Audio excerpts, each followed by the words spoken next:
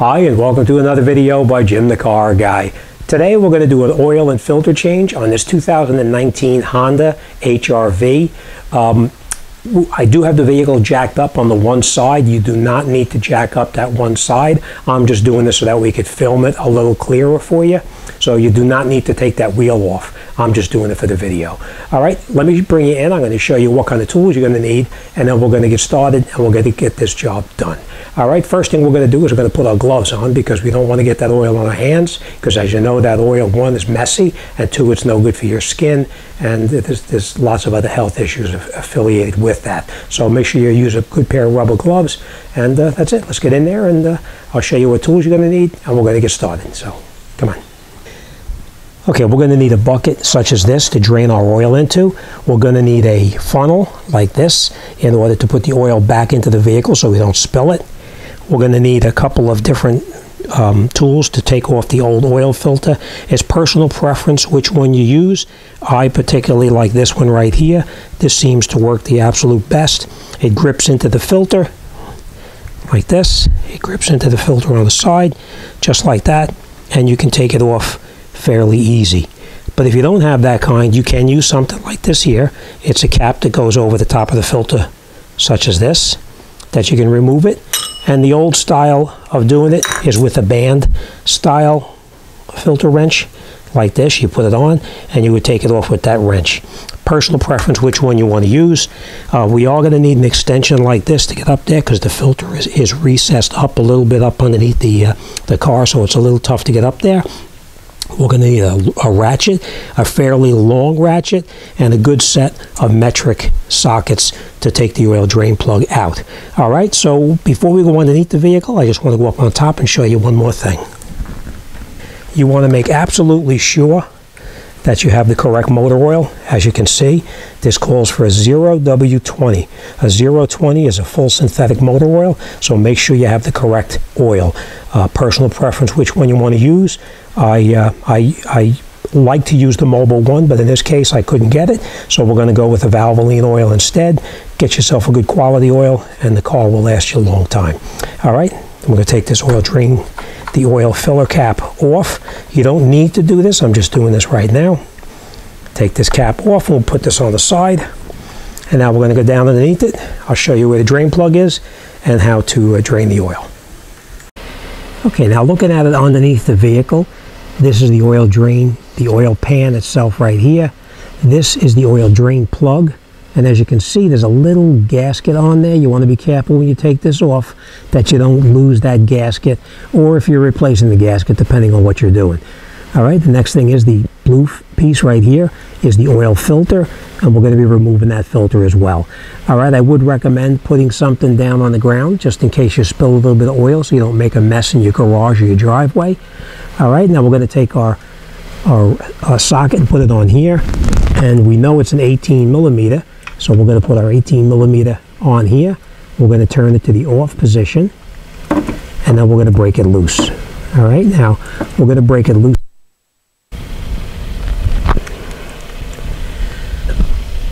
Okay, we're going to break our drain plug loose. We are then going to move our bucket over like this. And then you can come up here, make sure you have a rag. We're going to take this drain plug out.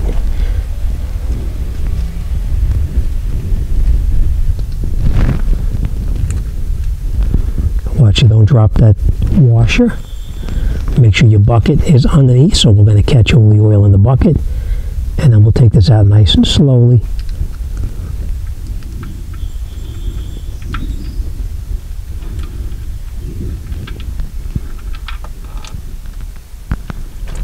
just like that and now we'll let that oil drain out once it finishes draining out then we'll come back up underneath here and we're going to take out this filter right here. Now the one that I told you I like to use the best is this one right here. It goes onto the filter. Just like that. It goes on just like this onto the filter itself. We'll put our extension for our ratchet in there and we'll take that out. All right well we're going to let this drain out here first and once it finishes draining then we'll come right back Okay, all right, so it's still draining right there. As you can see, we're going to let that drain, but we're going to break this filter loose right here. So we have our cap on it like that. We have our extension into it just like this. And now we're going to just rotate that loose. And you'll see it starts to dig into it.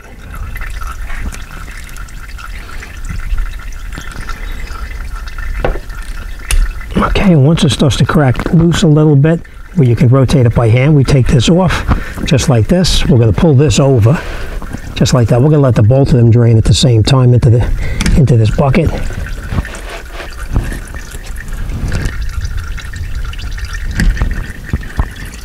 All right, so we'll let them drain out for a little while now.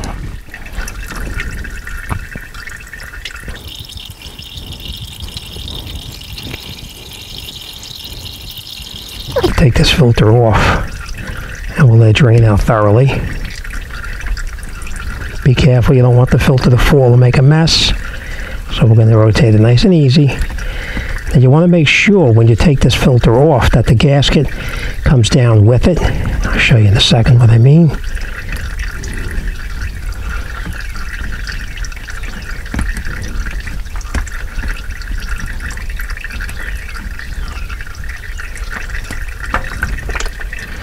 You see how that gasket is on top of the filter? I'll show you. That gasket right there. Make sure that that gasket comes down because sometimes that gasket will stick up inside here. And if that's the case, then you would just need to reach up here with your hand, right up here. Let's see where you can see this you need to reach up here with your hand and take that gasket off. But as you can see, the gasket did come off. All right, so we're going to let these all drain out. Once they finish draining out, then we'll come back and we'll finish it up.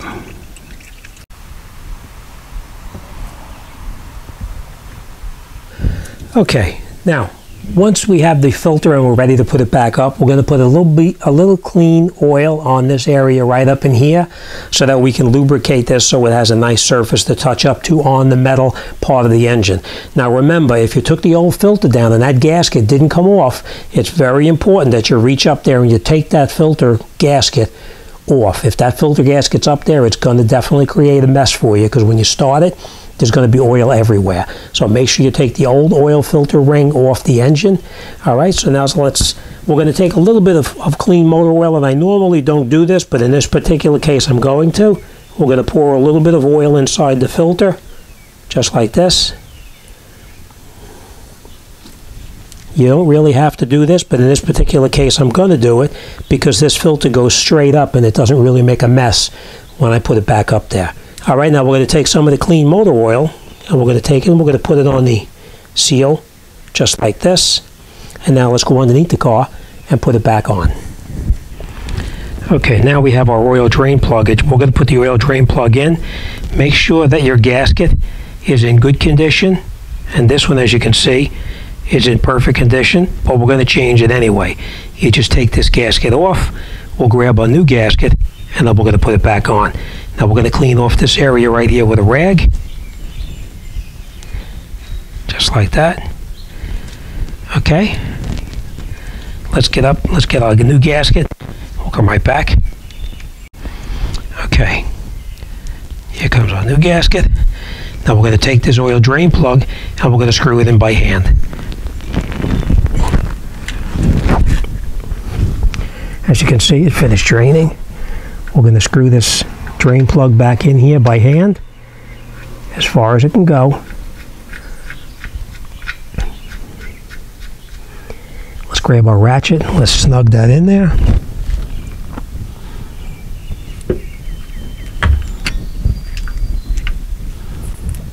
Our drain plug now you want to be very careful because you're screwing this drain plug and tightening it up into aluminum and you don't want to take a chance on cracking the aluminum. Uh, so we're just going to snug this down and just go a little bit more. Okay, nice and tight. We're going to take a rag and we're going to wipe, wipe off any residual oil that's underneath there so it's nice and dry. All right, now we're going to come up underneath here and we're going to put our filter back in. Okay, so now we're going to look underneath here. We're going to come up with a rag and we're going to clean off any of that oil that's up inside there to put our new one on, our new filter. So let's clean that out a little bit.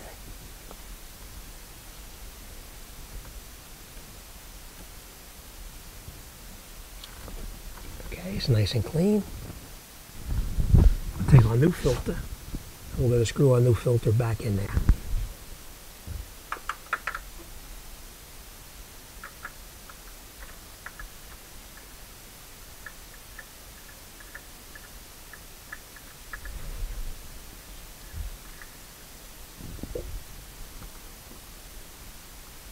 We're going to clean all the residual oil off of the filter itself. Tighten it up as tight as you can by hand. We're going to wipe any oil off that's on here. And now we'll go up top and we'll finish it off. Just make sure you clean off all the oil here. And we did our oil drain plug already. All right, let's go up top and uh, let's just finish this off. Okay, so like I explained to you before, make sure you use the correct motor oil. This calls for 020 full synthetic. Make sure you use the right oil. If you use the wrong oil, you could possibly damage the engine. So just make sure you have the correct oil. We are going to take a funnel and put a funnel in here.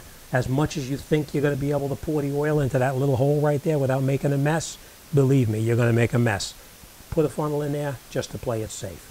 Now we looked it up in the manual and it takes this almost takes four quarts of oil or 3.78 uh, liters of oil, but we're going to put in about three and three quarters quarts and we're going to add as needed. So first thing we're going to do now is we're going to pour it in nice and slowly.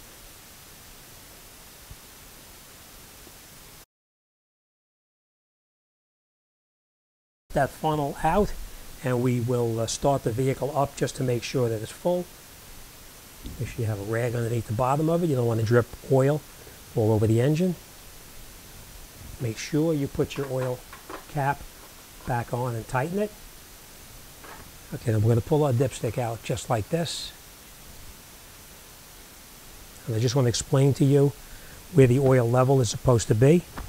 We wipe the stick off, and as you can see, this is your oil, your oil stick, and it should be in this range right up in here. You see those cross marks right there? It should be right up in that range right there. All right, so we're going to put it back in here.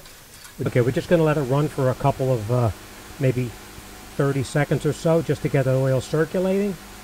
And then once the oil circulates through, we're going to shut it off. We'll go back outside and then we'll check our oil level to make sure it's full and we'll make sure we have no leaks underneath the bottom. Okay, now we're going to take our dipstick out. We're going to wipe it down to make sure it's nice and clean. And we're going to put it back in. Let's take it out. And we have, it's down about just touching on the bottom. So we are going to add a little bit more oil to it. Remember, it's always better to add a little bit more than to have it overfilled and have to take it out. All right, so we're going to put a little more in there now.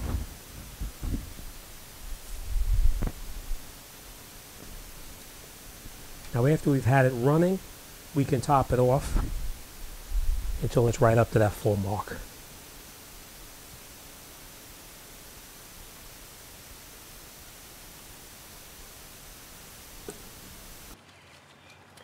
Okay, we'll just pull the stick out.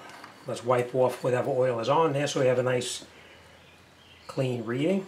We'll push the stick back in, let it sit for a second, make sure it's down all the way, pull it back out. Let's take a look at it. And as you can see, it's exactly up to the full mark. All right, we'll put our stick back in, take our funnel out, make sure we don't make a mess, take our cap, screw our cap back on. Let's go down the bottom, make sure we have no leaks, and this job will be all done. Okay, as you can see, it's nice and dry. Nice and dry on the drain plug right there.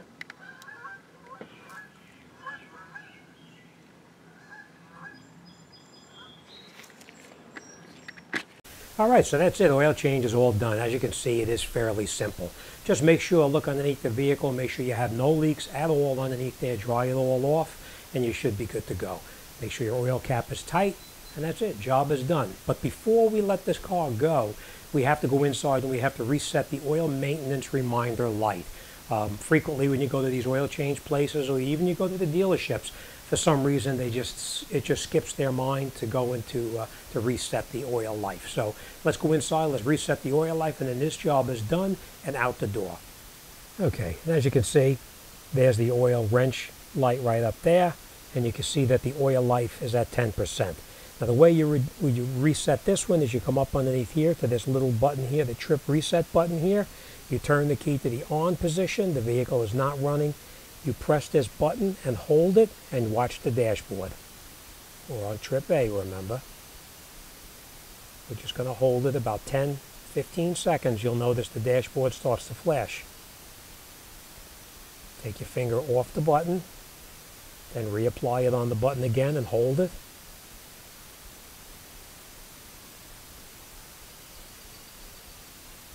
And it resets to 100%. Now when you start the vehicle up,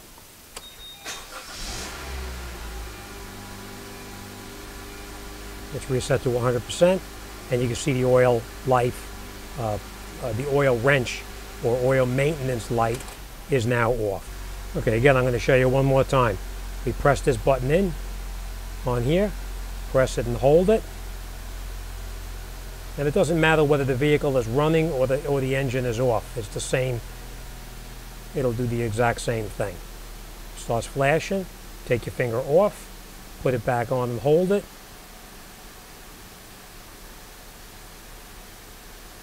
And it resets to 100%. All right, as always, thanks for watching, and I'll see you on the next one.